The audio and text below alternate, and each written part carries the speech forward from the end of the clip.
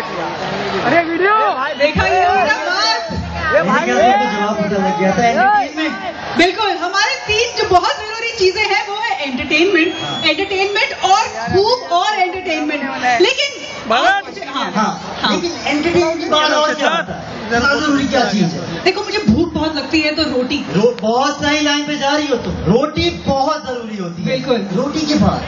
अब मुझे अच्छे अच्छे कपड़े पहनने का शौक है तो कपड़े कपड़ा तो है